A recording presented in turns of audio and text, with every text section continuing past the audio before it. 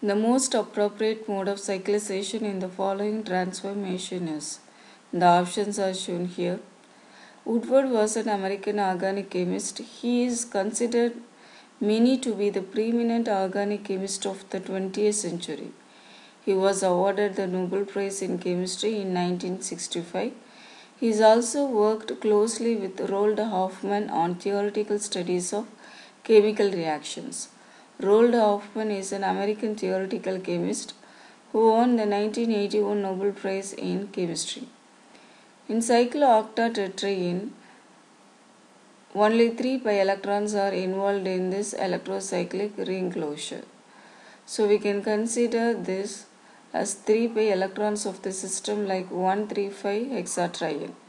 Now we construct the molecular orbital diagrams for 135 hexatriene to understand the stereochemistry of these reactions.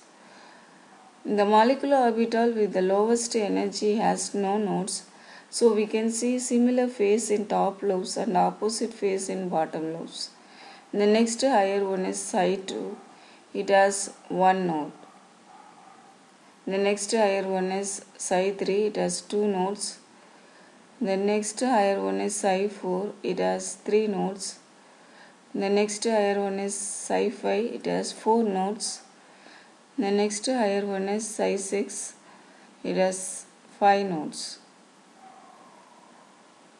135 hexatriene having 3 pi electrons, that is 6 electrons. These electrons are in, occupied in psi 1, psi 2, psi 3 molecular orbitals. So psi 3 is called as HOMO, that is highest occupied molecular orbital in thermal condition. Psi 4 is called LUMO that is lowest unoccupied molecular orbital. When an electron is promoted by absorption of light from psi 3 to psi 4, psi 4 becomes HOMO that is highest occupied molecular orbital in photochemical condition.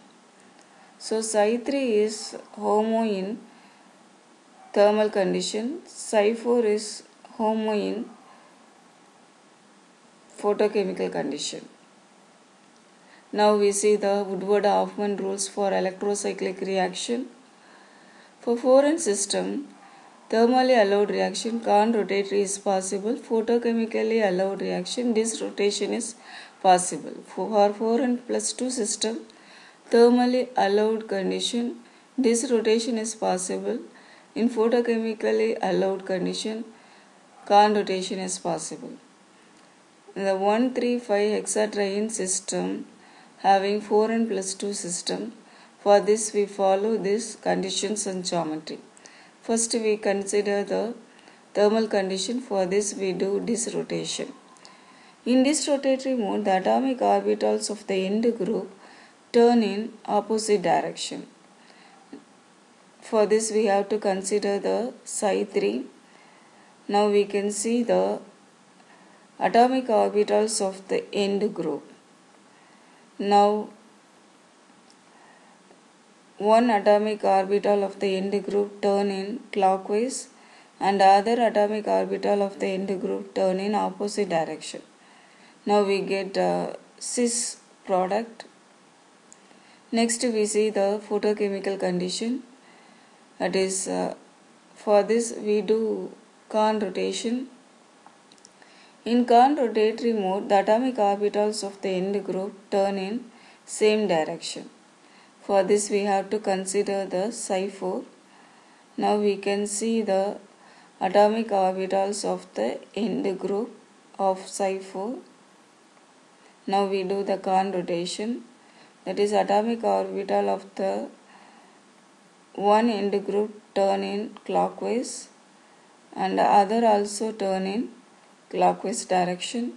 We get trans product. But in the given product the trans product is not formed so we have to neglect this conditions and geometry.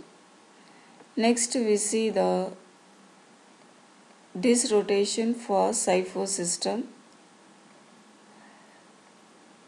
Now you can see the atomic orbitals of the end group. So one atomic orbital of the end group turn in clockwise direction, another turn in anti-clockwise direction. It gets its product. This is photochemically forbidden reaction. Once again we see the question and the options. Con-rotatory in photochemical, disrotatory in thermal condition.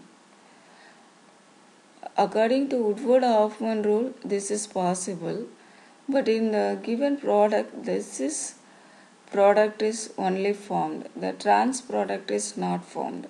If we do con rotation according to electrocyclic reaction in photochemical conditions, we get trans product.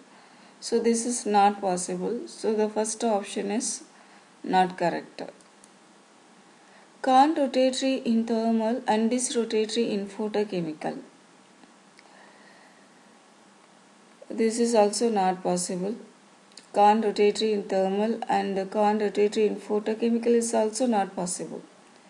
This Disrotatory in photochemical and this disrotatory in thermal condition is possible one. So this is the correct option. Thank you.